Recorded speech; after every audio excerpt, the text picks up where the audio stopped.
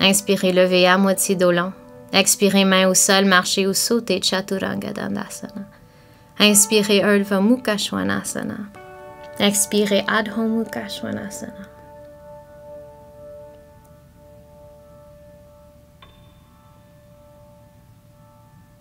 Inspirez, levez sur les bouts des orteils.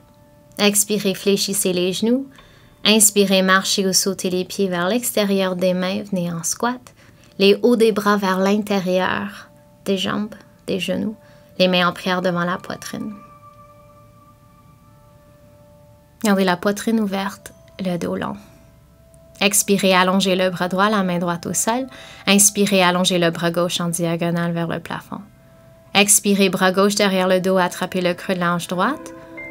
Ou vous pouvez amener le bras droit autour de la jambe droite, attrapez le poignet gauche. Roulez l'épaule gauche vers l'arrière, ouvrez la poitrine. Assurez que le poids est égal entre les deux pieds et les deux jambes. Expirez, relâchez, rallongez les bras en diagonale. Inspirez, retournez au centre, les mains en prière devant la poitrine. L'autre côté. Expirez, allongez le bras gauche devant la jambe gauche. Inspirez, allongez le bras droit en diagonale vers le plafond. Expirez, bras droit derrière le dos, attrapez le creux de l'ange gauche. Ou bien enveloppez la jambe gauche avec le bras gauche, attrapez le poignet droit. Roulez l'épaule droite vers l'arrière, ouvrez la poitrine.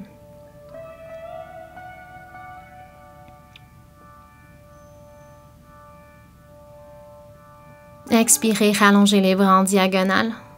Inspirez, retournez au centre, les mains en prière devant la poitrine.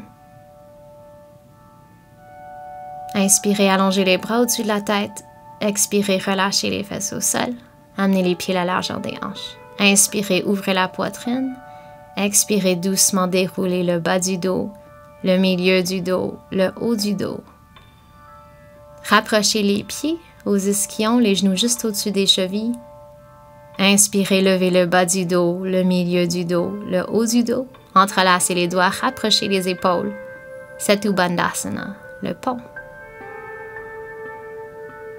Essayez de lever les hanches à la hauteur des genoux. Levez la poitrine vers le menton. Et appuyez dans les pieds, dans les bras.